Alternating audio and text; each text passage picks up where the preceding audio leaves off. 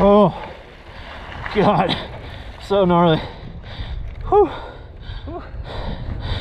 I really tried.